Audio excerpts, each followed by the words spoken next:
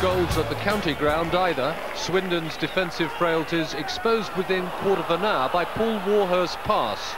And who can doubt Alan Shearer is ready for England duty. Cruelly, Paul Warhurst surely won't be available. Coming up, a tackle by Terry Fenwick that resulted in what's been reported as a possible broken leg.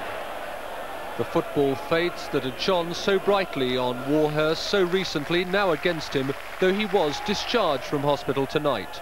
And more woe for Blackburn before half-time. Swindon, thanks to captain Shaun Taylor, finding only their eighth goal in 10 games.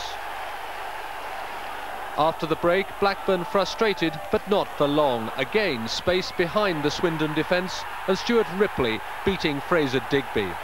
Later it emerged this was the game Graham Taylor saw today. No surprise then, the final word in the final minute coming from Alan Shearer.